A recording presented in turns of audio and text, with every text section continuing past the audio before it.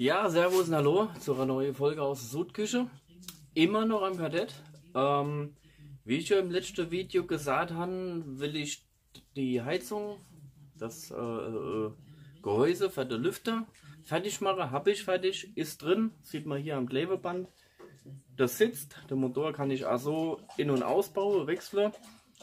Halterung vom Plastik ist gemacht. Muss nur noch, äh, wenn ich das Amateurbrett ausbaue, Halterung am Auto anschweiße, dass ich das festschrauben kann. Ähm, dann habe ich, eigentlich wollte ich ja heute die Abdeckung da oben fertig machen, ne? dass ich äh, mit Schweiße fertig bin und eine Moje oder so gespachtelt, gefüllert, je nachdem, so war der Zeitplan. Aber ich muss ja immer weiterdenken. Wenn ich jetzt den Motorraum das fertig wäse, fertig mache, am Schluss fehlt mir irgendwo für Spritleitung, Bremsleitung oder irgendeine Kleinigkeit, fehlt mir ein Halter. Und das ist kacke. So. Also habe ich heute angefangen. Das erste, was ich gemacht habe, war ja das Gehäuse inbauen. Funktioniert, passt, ist dicht alles. Und äh, dann habe ich mir eine Position überlegt für mein Bremsleitungsverteiler. Dort kommen die zwei Druckminderer rein. Und äh, da ich ja nur zwei Abgänge am Hauptbremszylinder habe, aber vier brauche fürs Auto, gibt es so richtig geiles Teil von Opel. Äh, gibt es im C-Corsa und D-Corsa. Da gehen dann zwei rein und vier raus. Hat eine Nummer drauf, kann man überall inbauen. Äh, richtig geil, ist auch noch nicht immer so teuer. Und hat natürlich die Anschluss Emo M10 Moens eine ganz normale Bremsleitung wie Opel hat und dann Emo M12 Moens, so wie Opel ja gerne manchmal inbaut.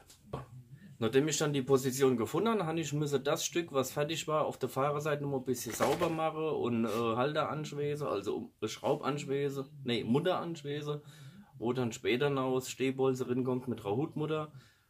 Die, wo mich kenne, wo, wo das Auto schon öfter gesehen ich habe so Faible für später noch alles in Edelstahl zu machen mit Hutmutter und oh, dass es halt richtig gut aussieht. Ist nicht einfach, das ist immer so, man muss halt weiterdenken.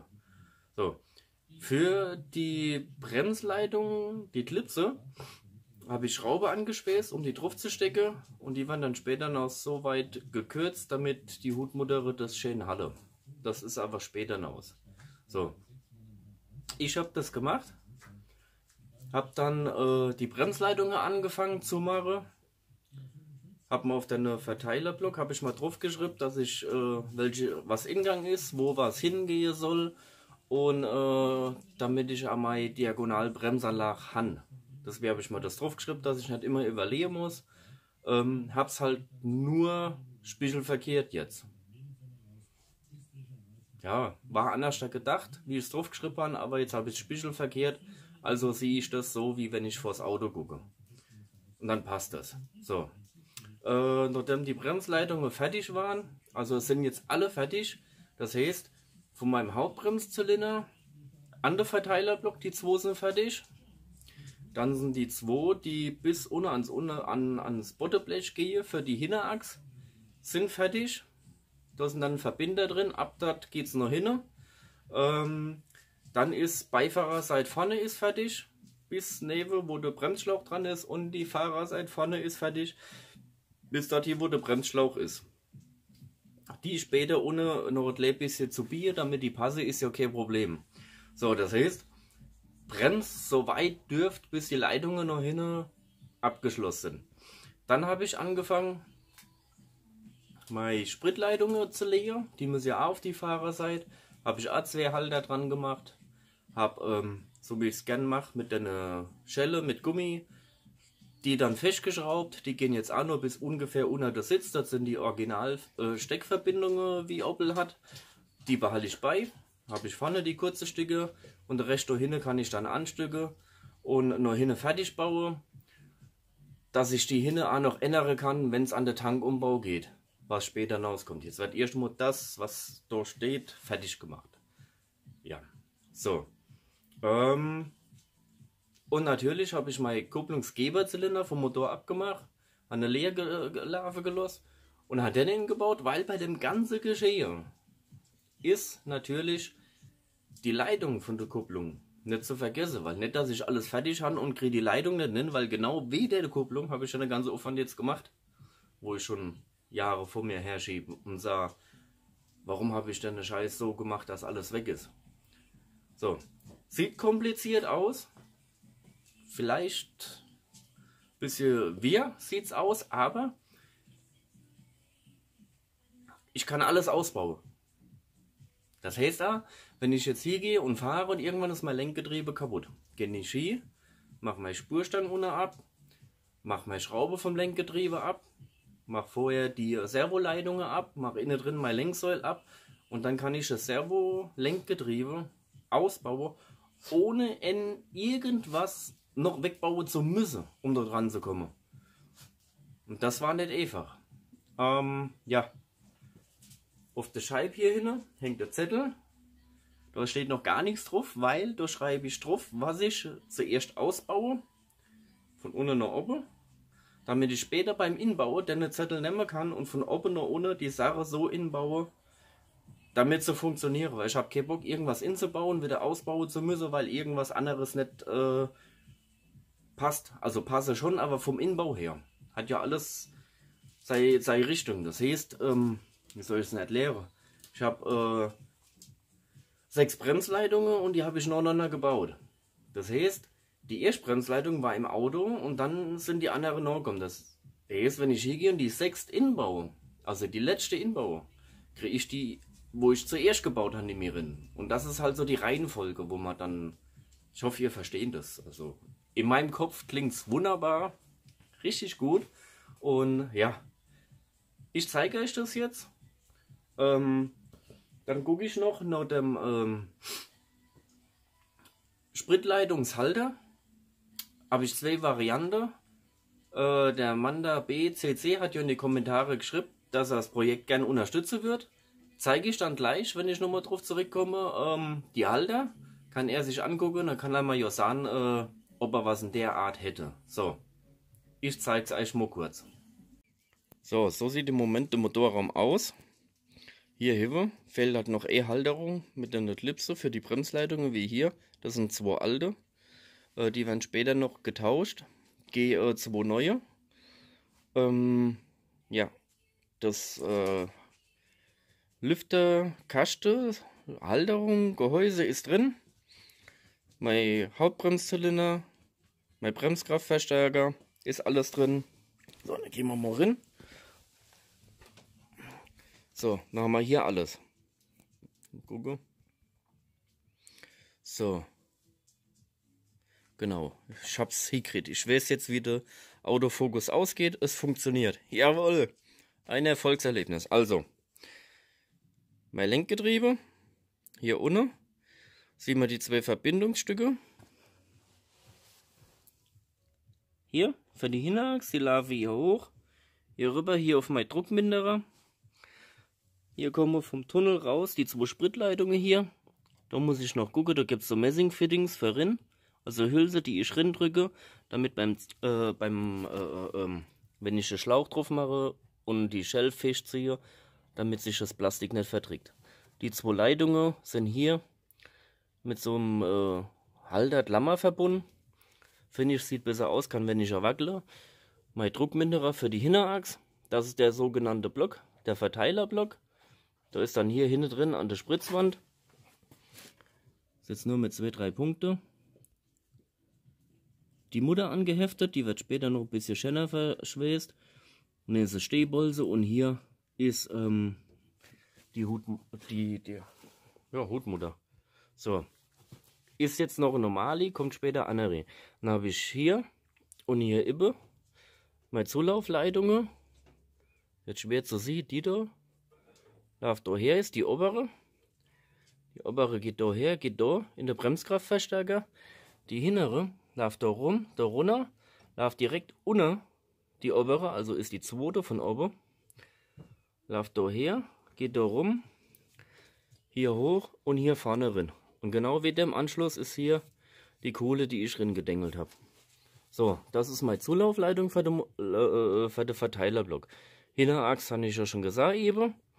Dann geht hier mein Vorderachs, geht raus in den Tunnel hier rüber. Hier, hier ist ja der Auspuff.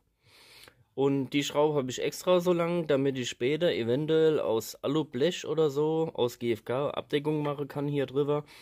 Damit kein Hitz vom Auspuff drankommt oder so. Vielleicht ab bis hier rüber, keine Ahnung, muss ich gucken. Wird halt vielleicht auch gut aussehen. Oder ich lasse so, weil der Auspuff durch ewigle. Das entscheidet sich später. So, und dann haben wir, ist jetzt ein bisschen komplizierter. Das ist vorne links. Also nicht wundere, die sind spiegelverkehrt. Das tue ich später noch ändere, wenn die äh, ähm, durch mit Schlagzahlerin mache, damit ich das auch immer sehe und nicht verwechseln kann. Original ist auch eingeschlagen, also kann ich es auch machen. Die geht hier runter, ganz nach. Hier auch wieder die Verbinder. Läuft unten rum und die muss natürlich hier unten drunter läuft hier hinter der Servoleitungen, hier rüber, hier rein und sind dann unten mit verbunden. Da sind, weiß nicht, ob ich schon gesagt die Spritleitungen, Plastik. Und da ist ja die Ansaugbrücke ist ja hier oben. Da gehen ja die Spritleitungen so runter, da gehen einfach zwei Schläuche neben rüber. Und äh, soweit sollte das dann gut aussehen. Ja, meine Servoleitungen sind drin. Die zwei Halter habe ich falsch gedacht, die muss ich nochmal abflexen. Wollte ich eigentlich die machen, war der Meinung, dass die nebeneinander laufen, aber laufen übereinander, sind aber fest. Das ist jetzt mein Lenkgetriebe, weil das ist nur angeschraubt, nicht festgeschraubt. Ähm, jo, das zeigen wir es nochmal von draußen. So, Ich finde, das sieht gut aus. Sieht da sauber aus daneben. Wenn ich von der Seite gucke. Bisschen kompliziert, aber ist es alles drin. Also ganz vergesst. Meine Kupplungsleitung. Die habe ich oben drüber.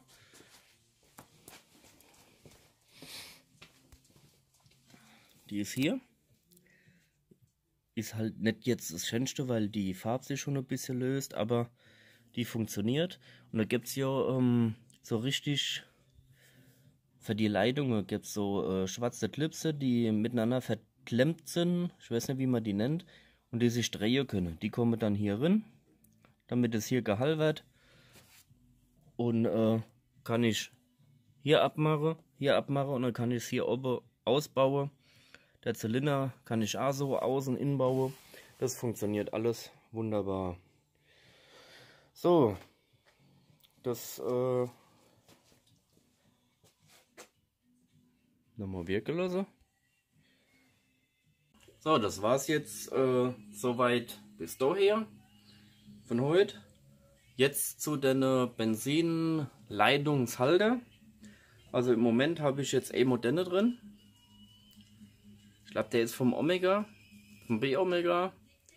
Wäre eine Möglichkeit, aber was ich gern hätte, sind diese hier. Originalnummer, steht Kenny drauf. Steht nur POM drauf. Ansonsten kann ich keine Nummer erkennen, außer 14. Die da hätte ich gern. Also falls er, der Manda B, CC, ich glaube so geht's kaputt. So, also falls der Manda B, CC, King, glaube ich, heißt er, der wo gestern kommentiert hat, falls der so Welle hatte, paar, ähm, ich würde mich freuen, weil der Aktivkohlefilter kommt vor die Hinterachs, nimm ich unter den Kotflügel. Ja, also wie gesagt, falls jemand von euch diese Klipse hat, wäre super. Ich bräuchte noch ein paar. Und ähm, ja, am Kadett geht es die nächste Tag dann weiter. Dann will ich den äh, de, de, de, de Luftschacht fertig haben. Die Halterung neben noch auf der Beifahrerseite machen, wo der Clipsy kommt. Und dann wird alles ausgebaut. Kommt schon in eine Kaste. Kommt raus. Dann tue ich äh, den Motorraum vorbereitet zum Lackieren alles. Ähm, ja, sobald der Schacht dann da oben fertig ist, kommt da Amateurbrett alles wieder raus. Wenn man die Löcher von innen zugedreht. Ähm, Heizung bleibt noch drin, weil ich muss ja noch den Anschluss machen. Das kommt dann ganz am Schluss raus. Und ähm, ja, dann dürfte es eigentlich so langsam auf die Zielgerade gehen, dass ich sagen kann, wir bauen jetzt den Motor in. Was muss ich dann noch machen? Kabelbaum inbauen, Motorkabelbaum. Ähm, ja, schwierig wird es noch mit dem äh, Amateurbrettkabelbaum, weil ich ja den Originale vom GSI haben will. Der kommt dann ins Amateurbrett drin und muss dann gewisse Kabel umlegen. So zum Beispiel mein Lüfter, also für die Heizungslüfter, die Kabel. Aber ist ja kein Problem. Ich lege die, oder muss ja nur original den Kabelbaum lang gehen, bis dort hier, wo mein äh, Kontaktschalter ist für mein Handschuhfach. Und dort 5, 6, 10 cm dran. Dort neben hockt der Lüfter, das passt. Ja, das dürfte. Ja, 10 cm dürfte reichen. So, dann muss ich was muss ich noch umlegen? Eigentlich nichts. Ah, doch. Anlasserkabelbaum. Dass es da vorne aus der Tülle rauskommt. Sieht man jetzt schlecht. Da unten. Das Loch, das da rauskommt. Aber das kann ich ja dann, wenn der schon im Amateurbrett hockt und im Auto drin ist, dann kann ich das machen, weil ähm, das ist ja ohne soll raus und dann komme ich ja ohne hin, dann kann ich ja die Kabel umlegen. Die gehen ja normal, glaube ich, wenn ich drin hocke, links neben der Längsel raus. Ich glaube. Ich weiß es gar nicht mehr. Und jetzt müssten sie noch rechts oder so. Also es ist nicht viel Umleger. Ähm, ja, muss nur gucken, da ich noch eine Zentralsteckerin mache, der äh, durch die Tülle geht, beziehungsweise Zentralstecker im Innenraum mache, so kleiner wie ich habe. Muss ich gucken. Das entscheidet sich dann, wenn ich dort dabei bin. So, das war's bis daher. Ähm, wenn es euch gefallen hat, abonniere nicht vergessen, es teile und like. Und ja, ich würde sagen, gucken euch vielleicht einmal noch ältere an. Wenn ihr noch nicht geguckt habt, wenn da Neide zukommen sind oder wenn ihr jetzt erst das geguckt habt, das Video. Ähm, habe auch noch andere Sachen, andere Projekte gebaut. Es kommen auch noch andere. Es kommen ein richtig geiles kommt, aber das kann ich jetzt noch nicht verraten. Und äh, ja, wir sehen uns dann im nächsten Video. Bis dahin.